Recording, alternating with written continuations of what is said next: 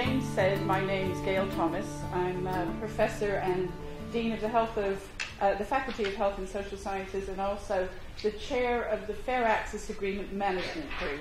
And it's really with the second hat on that I'm here tonight, really.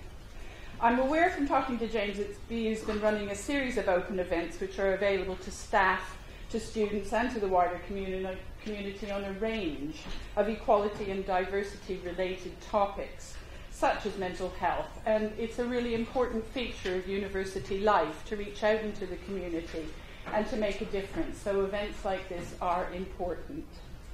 Um, and I see these open events as an ideal opportunity to support the university's commitment to fair access and widening participation, which also provide the local community for an excellent opportunity to find out more about what's going on here, the good work that's happening at the university. So the focus tonight is on eating disorders, which, as you know, is an important both societal and individual issue. Although eating disorders tend to be more common in certain age groups, it's not uncommon for eating disorders to affect people of any age. Around 1 in 250 women and 1 in 2,000 men will experience anorexia nervosa at some point, and the condition usually develops at around the age of 16 or 17. Bulimia is around five times more common than anorexia nervosa, and 90% of people with bulimia are female. It usually develops around the age of 18 or 19. Binge eating usually affects males and females equally and usually appears later in life, between the ages of 30 and 40. Because of the difficulty of precisely defining binge eating, it is not clear how widespread the condition is. The point of raising these statistics really is just to give a really highlight the prevalence of eating disorders in our society. And for each person experiencing a disorder, there will be many other people also affected. That includes family, friends, colleagues, teachers, employers, and so on.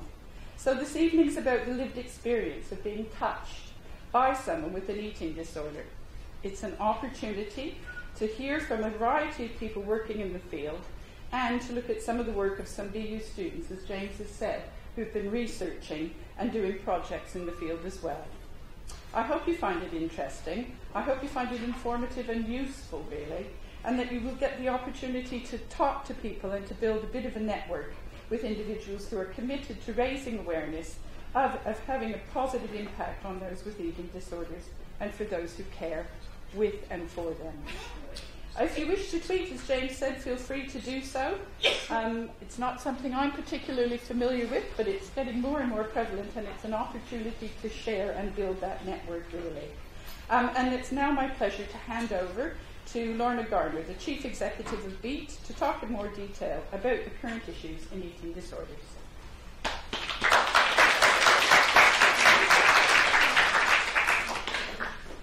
Good evening. Thank you very much for inviting me It's a pleasure to be here. Beat is a charity that's been running for about 25 years and specifically focuses on eating disorders. I'm going to throw some stats at you, sorry, more.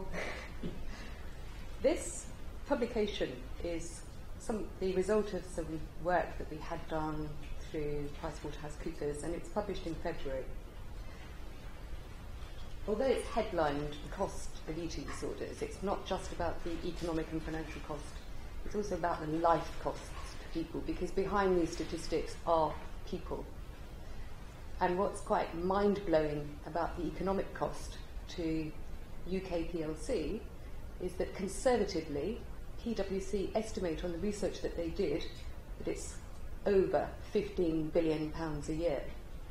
And a large proportion of that cost is lost income because of people whose lives are affected and blighted at a young age and so therefore they don't realise their full potential from education or from employment or careers. And that's one of the reasons why I'm really pleased to come and speak to you this evening. That's actually yours now.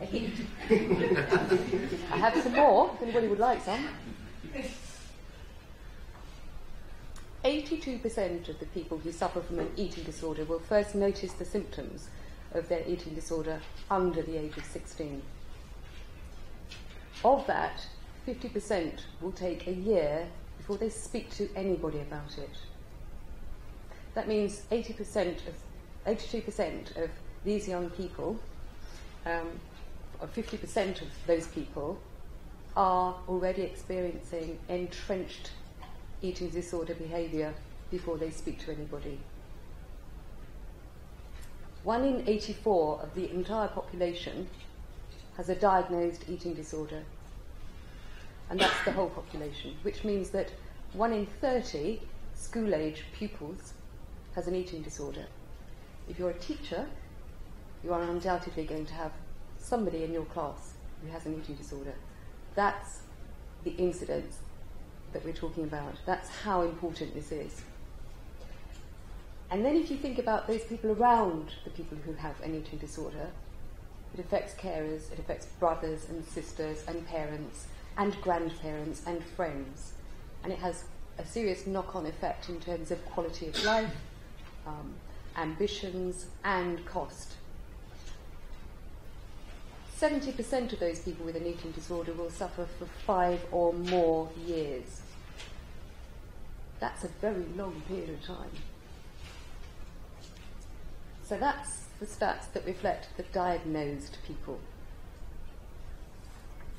And the majority of people that we know, that we speak to who call our helplines and who contact us through our social media and through our um, online messaging have not been diagnosed, but they know that they have an issue or they know that somebody that they love or care about has an issue.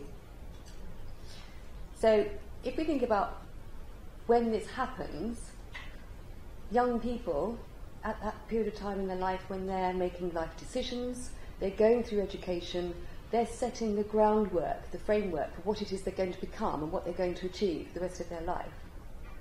That's a really important time and they have this to deal with. They also have the changes in their body to deal with. They have peer pressure to deal with. They have social media to deal with. So approaching it at this point in time is crucial.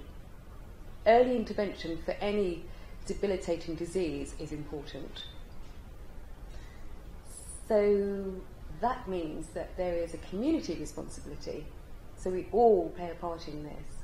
It isn't just down to the health service. How can it be if they're not aware? Because these people haven't spoken to them, they haven't been diagnosed. So the responsibility that exists with community as a whole, and educators are part of that community, is very real. Now, I do feel so, very, very sorry for educators because there's so much that's placed upon you um, outside education. Um, and so the burden I know is quite heavy. But if you think about it in terms of you are going to have people in your classes or going through your lectures who have an eating disorder, and you're also going to have more people who are affected by somebody else's eating disorder going through your education. It just goes to prove how important it is for us to be working with education in order to address it. So, how would you approach that? Um, it's, uh, it, it's not it's not something that everybody knows about, and it's not something that, um, that, that, you can just put into one nice little um, easy package because it is, quite complex, like was explained earlier. I would recommend, and Beat recommends, that um, educators take a top down approach. Setting the culture um, is really what makes the difference. Helping to remove the stigma by encouraging people to learn, to train, to understand. Having a policy is quite important too. Training your staff so that they're informed, so that they're aware of what it is they can and can't do, and how they can support proactively people who have an eating disorder or who are related to or who are friends of somebody who has an eating disorder. And more importantly, being able to help people to recognise in that first year when we're talking about those under 16 young people, 50% of whom don't speak to anybody, being able to catch them at that time, which is the really important time before the behaviour becomes entrenched, and at a time when recovery is so, so very much on the cards, that's really the time when we need to be approaching young people about it. In the introduction, um, we talked about anorexia nervosa. up to 10% of those people who are diagnosed with anorexia nervosa will die prematurely, either from suicide or from organ failure as a result of their illness. It is the mental illness with the highest mortality rate of any. It's that important, it's that serious. And as I said, behind all of these stats, there are people.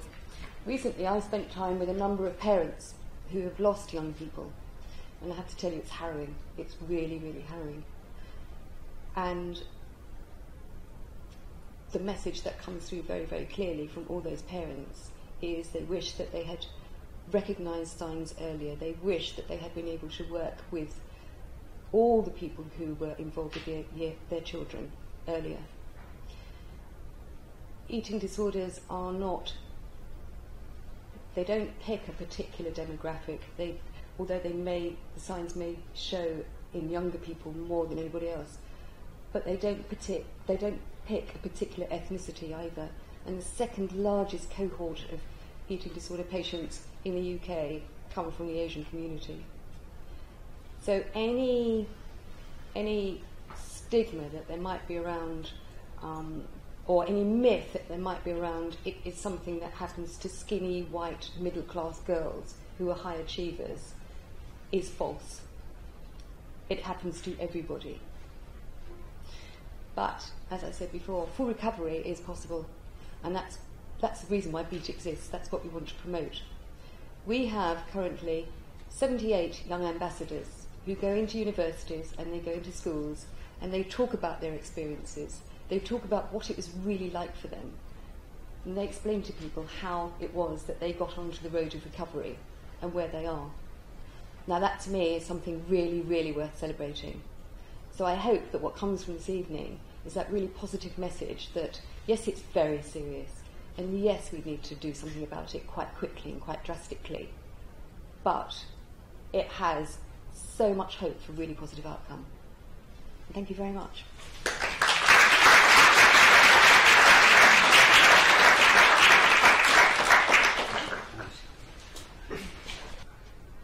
Okay, um, now we'll take the opportunity to share with you, um, Sarah and I, some of the work that we've been doing here at the university uh, for the last five years. I think really before we give some examples of, of, of, of, what we have been doing, I'm just going to illustrate, um, not point by point, uh, but some of the, the drivers, the motivations behind uh, the work so far. Clearly, there's been a strong reference to uh, equality and diversity in, in, in relation to the university's strategic plan. I think also, which I've been very pleased to see, has been a really strong partnership with the Trust and the university. And I think, I think for me personally, we wouldn't be here today talking about this work if it wasn't for that, that, that, that relationship. And those words weren't given to me by anyone from the Trust or the university. I do want to stress that. Uh, but I do think I do need to, to, to, to recognise that as well. Clearly, the university's made a commitment to signing the Time to Change organisational pledge, so clearly looking to address stigma and discrimination within the workplace and the study environment, and clearly that's also provided a framework and um, a, a, motivation to, to, to, to, work in this area. And I suppose recently as well, two areas which I've um, found very helpful um, is clearly our fair access work.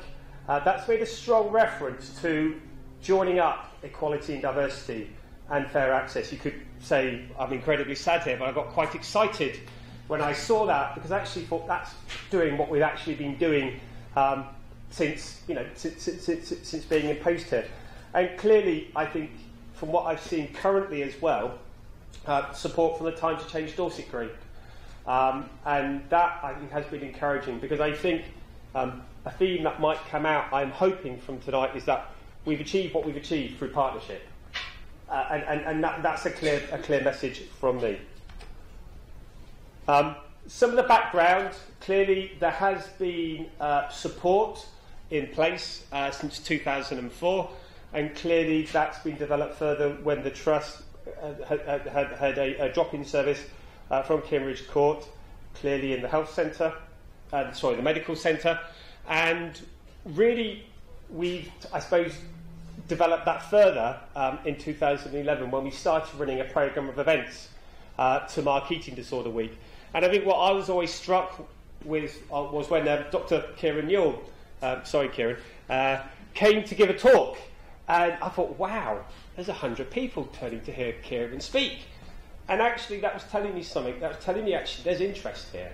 There's actually strong interest um, in coming to hear about eating disorders. So, you know, it, it, it's saying there is the need um, for information and support.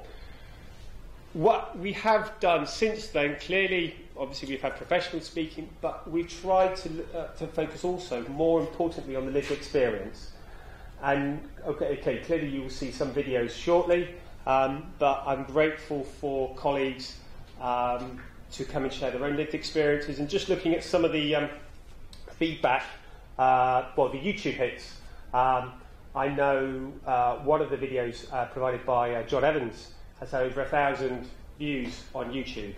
And so, again, that's saying there is interest there. Sorry, John, to embarrass you there. And clearly, Sarah's going to be talking about some of the academic research that has been done earlier. And also, just to highlight what we have tried to do, which actually raised some interesting feedback from our students, we've offered on two occasions a bake sale. And we actually had queries from our baking society about why we're we running a bake sale during Eating Disorder Week? And I must admit that actually threw us, through me. And I know, well, maybe not through you, but through me. And so, you know, it was just trying to uh, address some of those, um, well, uh, uh, uh, address the knowledge, raise awareness, and clearly we did because I believe on the first, yes, on the first time we ran the bake sale, we raised over £70 um, for uh. I've made reference to the online resources. Uh, a plug, yes, but they are available on the university's uh, Dignity, Diversity and Equality playlist. Feel free to have a look at those. As Gail has already mentioned, there's been a strong emphasis on the programme being inclusive. Um, I do want to stress that.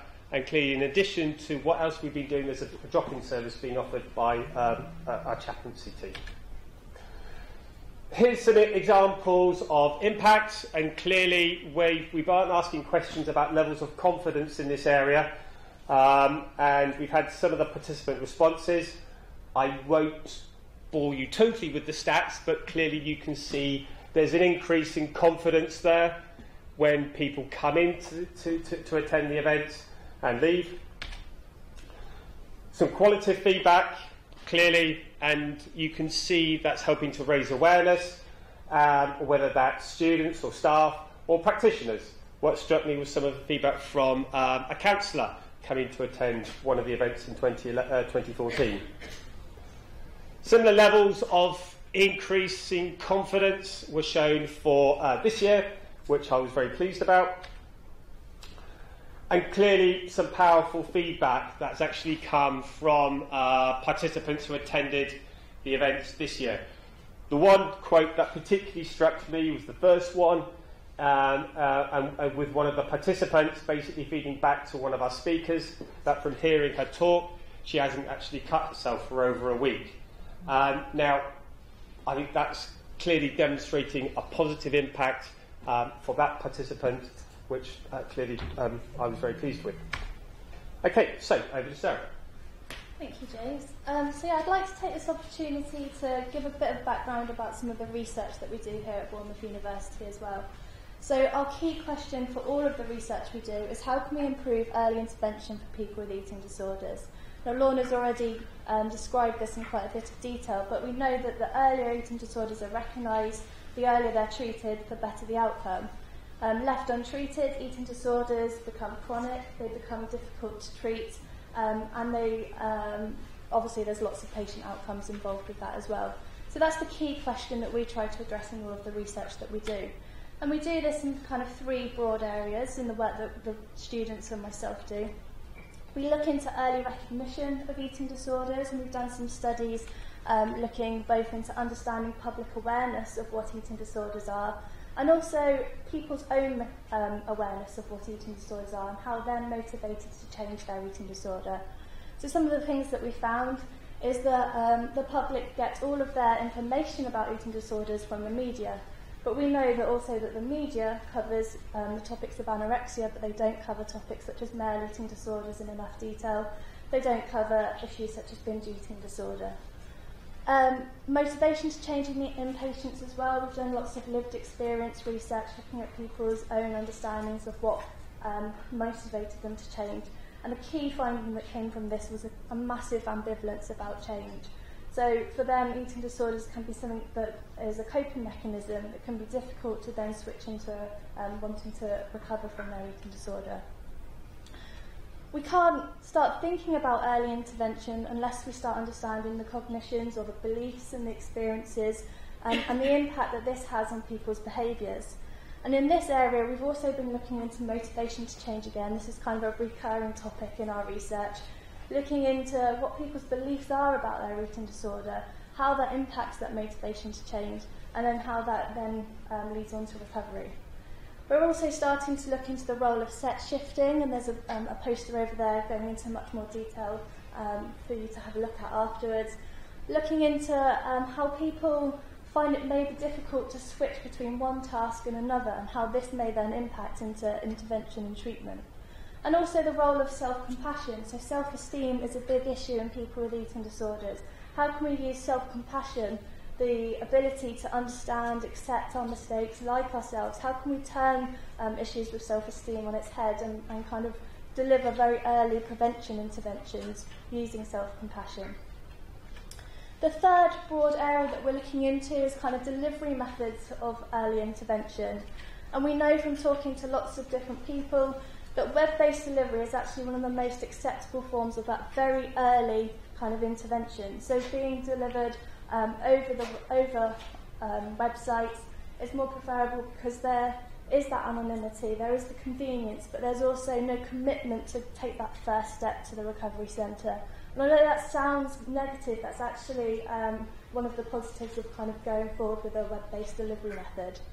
We've also started looking into mobile phone apps um, and looking at whether these are useful, are they relevant, are they helpful to people with eating disorders. And we found over 250 odd um, mobile phone apps, and out of that, about six were useful to people in their recovery. A lot of them were very insensitive to people. They were um, just to be avoided completely. And if you want more information, um, I think we have a poster somewhere about six um, main um, apps that we actually recommend a lot of the research I've been talking about is leading on to intervention, as I've said, and the key intervention that we've developed over the last couple of years um, with Kieran, with Jess, um, with students, and with lots of um, people with lived experience, we've created the Motivate intervention. Um, the whole idea of the Motivate intervention is that once someone is referred to an eating disorder service, they can be given the web intervention to have a go to become motivated to attend. Through our research, we found that people with eating disorders are ambivalent to change, so this um, intervention starts to address that ambivalence. We've also found by surveying, um, surveying services across the UK that approximately 25% of people who are referred to a secondary service never attend that first assessment appointment. Um, but a lot of the people that we've talked to have said that if they had a web-based delivery method, that would help them to make that first step. Just a little plug now for another event that we've got going on. On the 13th of July, we have a conference um, on how we can improve service attendance and eating disorders. Again, with Lorna, we'll be speaking there, and Jess, Kieran, myself, starting to really unpick um, all of the different issues around why are people not attending, and then starting to think about solutions. We've also got a funding proposal in, we're waiting in July. We've got every finger toe crossed that we um, get um, the funding to do a very large randomised trial across services across the UK to see if the Motivate intervention will work and if it does improve attendance. And future directions of this research, so we don't want it to stop there, we want to start thinking about can we improve treatment attendance. So yes, they may attend the assessment, but then can we then offer other um, implications of this that then improves treatment as they go along? Is there acceptance in young people? And can we start using this sort of model for kind of pre-GP intervention, getting people into services even earlier? Um, so that's the key overview of the research we've got going on. I'll hand you back to James. Before we um, I suppose, show you the, the videos, we'd just like to just give you some background, some context um, to, um, I suppose, what motivated us really. Um, and, and, clearly, we want to talk about very briefly the Time to Change Dorset videos. These were videos that were produced in 2012, and clearly they um, had support from students and staff, the Trust, Dorset Mental Health Forum, and clearly Time to Change.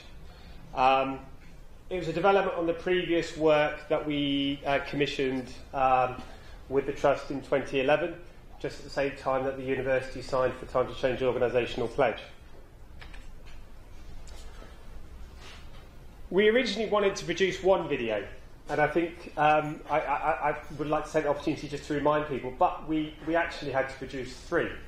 Reason being is because we actually had so many people wanting to come forward. And there was a debate um, with myself and other colleagues, well, you know, do we have the better people on camera or not? And clearly it was a very clear message from me that we needed to do to be inclusive. So in essence, we had 14 people. Now clearly we couldn't actually get everyone into uh, uh, a four-minute video for four, you know, 14 people. Clearly wouldn't work. Uh, but so we produced three. Those three videos were, were, as a result of filming that was undertaken in February and March and it was launched in, in May uh, 2012. As we can see, we had 100 people attend that event, and clearly numbers are higher this time than last time. Um, if my maths serves me correctly, uh, we're looking at about a 50% increase on attendance, which clearly is for me um, a very positive thing. I was hedging my bets over time, but I'm not going to show the videos now because I, I, I think it's probably more important that actually we, we, we actually see the two videos that we've commissioned. But again, they are available um, on the YouTube channel if you want to watch them. Um, want to highlight some of the views. Uh, okay, two years ago, you might or might not expect that, but clearly we've had over 6,000 views on YouTube. Um, and I think that's, for me, being very positive. Uh, we've had positives, uh, well, we've had some likes, uh, clearly 34. Um, we've had one dislike, fair enough, um, and clearly we've had people leaving positive feedback um, publicly as well. You see some examples there. Now, what we've also tried to do, now we thought, well, it's great, we can produce videos, and clearly, one thing I should have mentioned earlier is that one of the motivations for producing these videos was to provide a different approach to raising awareness of mental health issues. Clearly, we can offer them today through talks, through events, but they may not reach everyone. And you could argue, actually, we're already preaching to the converted. So we'd want to take that opportunity through these type, you know, the video approach to uh, raise broader awareness. Now, to establish what type of impact those videos had, we commissioned, as well, we pulled together a survey, and that survey was called the Attitudes to Mental Health. I'm just giving you some of the findings um, after looking at, looking at them again today. And clearly, there's overwhelming support here for the use of uh, personal stories uh, to raise awareness of mental health issues. Interestingly enough, when we ask the question about where you've come from, do you live or do you live outside Dorset, there's a pretty much a 50 50 split. And I suspect that's possibly explained by the fact that Time to Change Dorset, uh, sorry, Time to Change nationally were happily throwing their support behind the programme. I think for me, though, illustration of substance is seeing some of the feedback, the quotes. Okay, these are sample quotes, just two. There are more, but clearly we wouldn't have time. But clearly you're showing some, some positive feedback from the partic- well, from the individuals that watched uh, the videos here.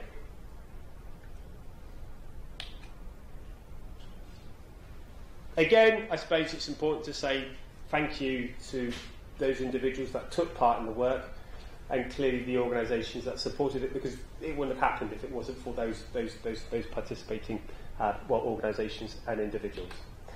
Now, let's get to the presentation. So clearly, we're here today to um, watch um, and, and, and, and, see the premiere of, of two, two, two videos. Um, and again, thank you for, for, for coming. Um, I suppose I want to, to, to, also take that opportunity um, to say a big thank you to all the participants. Um, if it wasn't for you, uh, and some of you are here tonight, we wouldn't actually be here tonight. So I want to say a big thank you. And a big thank you uh, to those that actually uh, can't be here tonight. And actually, should we just show our appreciation? Thank you.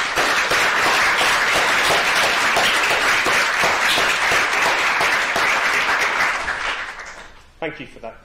Um, now, there was a brief. We've clearly developed that in partnership with uh, staff from the university.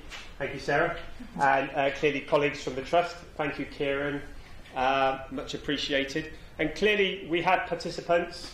Um, in total, we had 11 participants that took part in the, the, the, the, the videos. I must admit, I didn't think everyone would still take part, but clearly they did, which was, was, was, was fantastic. Um, and clearly we've had um, participants that have received support from the Eating Disorder Service of the Trust. We've had students, we've had staff, and we've utilised our, our links within the community to uh, produce the work today. Now, clearly, um, one, uh, and an important issue to think about here and, and, and to make sure we, we, we have addressed is getting ethical uh, approval and we went clearly for a very stringent, rigorous process here at the university. And my thanks to colleagues there, and my thanks to colleagues from our legal services department who made sure we had the appropriate documentation in place. Filming took part during Eating Disorder Week on a late Tuesday afternoon, and uh, again, thank you uh, to colleagues that took part. And clearly, we wanted to make sure that all participants had the opportunity to review the work so there was the opportunity to see the videos um, before they went public um, through a, a, a password protected site. So clearly there was an opportunity for everyone to comment. And there were a few tweaks uh, from us uh, and also from the participants.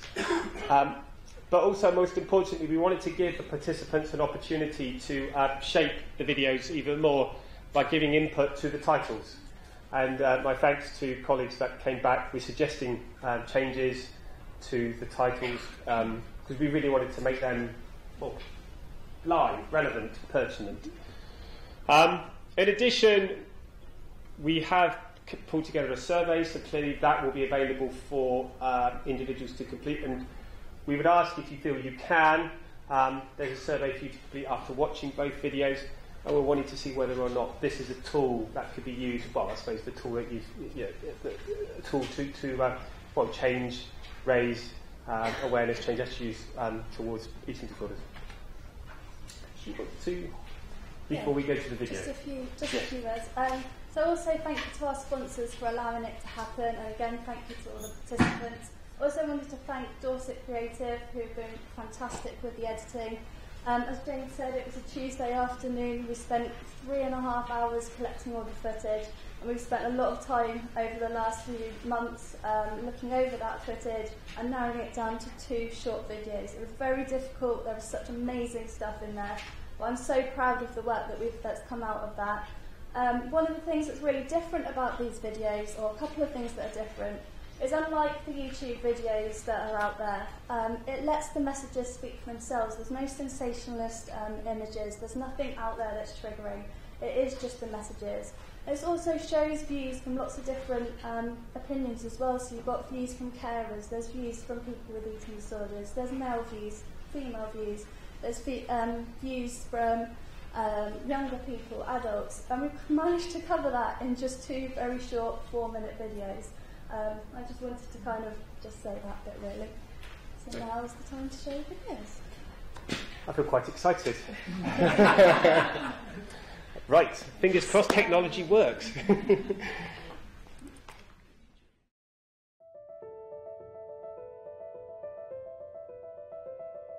you don't think that you've got one, it's not something you want to admit to yourself. But the day that I did was the day that things could start to change. Susie has been doing running and she's been doing really well, and we've been enjoying the fact she was getting really good at it. But she reached a point where she was going out on runs, almost physically and mentally collapsing, and then getting really angry and sobbing at the side of the road. And I realised that actually her mood had changed. She was getting very angry and rather irrational. I was aware that Rosie had decided to change her lifestyle, so she decided to eat more healthily and take up exercise. Um, but as the months went by, it became apparent that it was getting out of control and Rosie was becoming more rigid in her behaviour and in her thought patterns. Self-harm and eating disorders weren't recognised when I was um, 11 and I was very young. I think people didn't expect you to have problems at that age. When I first heard the word anorexia involving me, I just, just it didn't even occur to me. I thought it was a young girl illness the, where all you had to do was eat food and you'd be fine. The signs are so hard to see early on, I, I think. She became quite manipulative, um, very secretive, and quite defensive when I tried to challenge it. It can be very deceiving, and you're trying to deceive other people, so you're deceiving yourself. A part of me thought it was normal, and then it just takes a little step back. And it was that mirror moment that was like the click, that was the drop. When mum, and I remember it really distinctly, just looked me in the eyes and said that she couldn't determine whether I lived or died. At that point, I could see that it was completely my responsibility. When I wasn't in school and I couldn't do anything, I couldn't meet up with anyone, I realised I had to make a change. Otherwise, it was going to be my life for I don't know how long. I kind of possess some kind of belief in myself that I could actually get over it because of a lot of my story with anorexia. It was just trying to cope with it without ever really believing in myself that I could could, that life could be any different. The sooner you can talk to someone, the better. I think that it's not something you can do on your own, but there are people out there who really care and will get alongside you. They can't do it for you, but they will walk alongside you each step of the way. Believe in yourself. You can do something because no one, no one can help you if you don't want them to help you. We learned things that we didn't know, so I didn't know that the reason Susie was so irrational was because her brain had shrunk. And I think some when we got into the eating disorder service and we had some of the symptoms explained a bit better, it actually helped Susie and it helped me to understand some of her behaviour she couldn't actually help. It is difficult. It does get worse before it gets better, but if you arm yourself with as much support and information as you can, um, then you're helping yourself and then you're helping your child at the same time. It's only you that can that can do it. so you just have to be strong and you just have to keep going and you have bad days and you just need to keep keep strong, keep going. Just taking each minute, hour, day as it comes and keep going, even if it feels worse before it gets better. It's really worth it. It's really worth it to recover, and life can be really fun um, when you kind of start to accept yourself.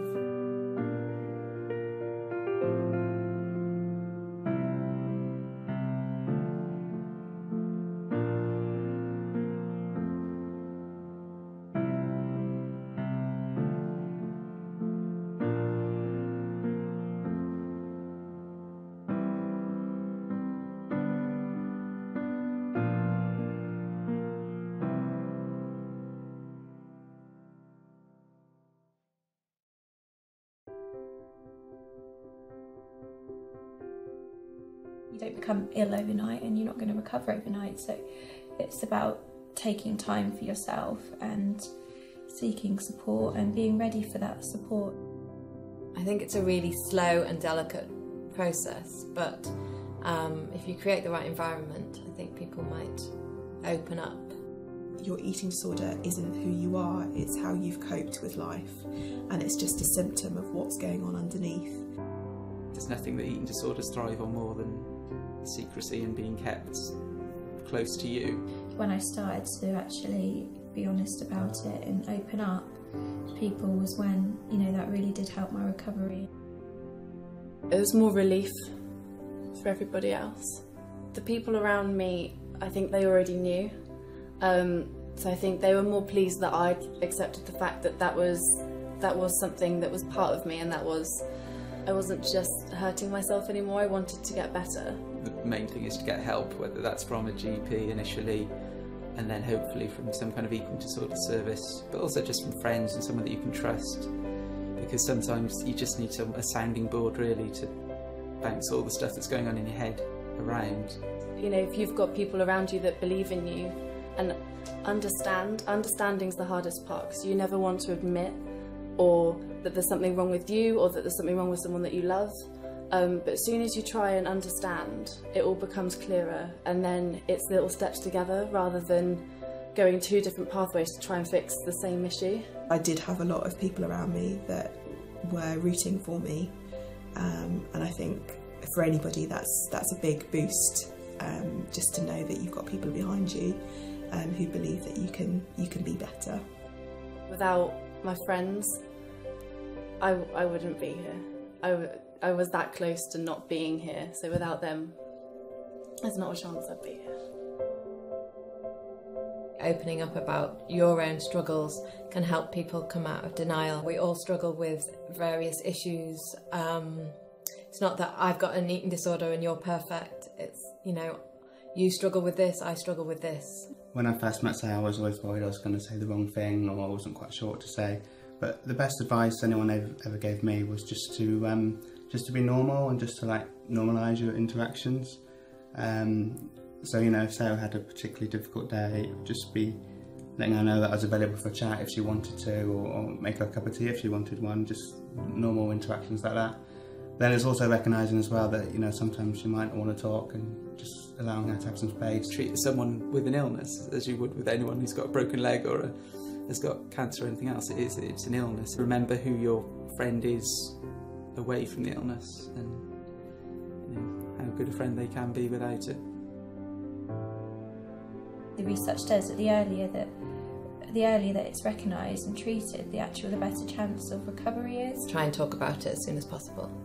The little thing that's taking over inside your head, it's not it's not forever. It can it can go away. I wasn't going to allow myself to be robbed anymore um, because I understood my eating disorder to be a symptom of something deeper. A big fear is actually, oh, you know, if I become a normal weight, I'm not going to get any support. But actually, there is support there, and it's not. Eating disorders aren't about weight. It's, you know, it's so much more than that. Finding a more positive, more constructive way of coping with things is probably the key. Keep a diary, keep writing how you're feeling. Because when you get to the stage that I am at now, you look back and you admire yourself so much. It shows that you have a little faith within yourself, and it shows that if you believe in yourself, you can do something. It isn't too late, it's never too late for anyone.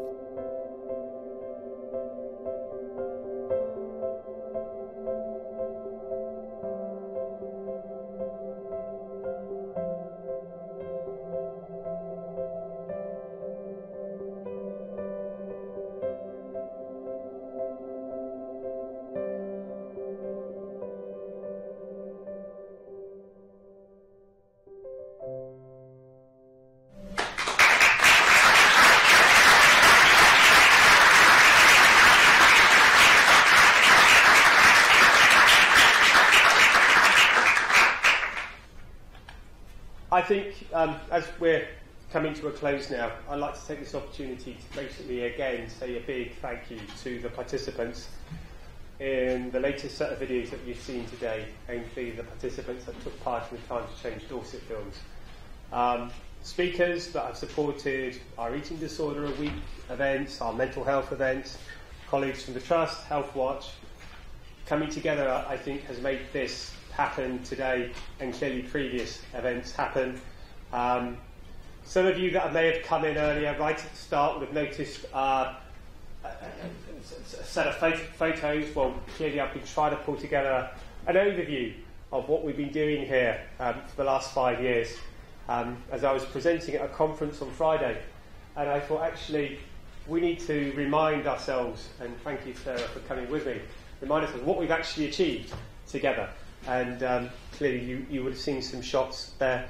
And I just want to say thank you to Mark Story uh, for uh, agreeing to provide some of the, the, music tracks free of charge to support that work. Uh, and clearly, uh, our staff, uh, our students, and members of the wider community that have supported today. Thank you, everyone, um, for, for, for coming and for those that have come in the past. Feel free to share your, your feedback in relation to uh, seeing the videos. Um, evaluation forms are important to me in particular. Uh, please, and uh, thank you again for coming. Have a good evening. Thank you.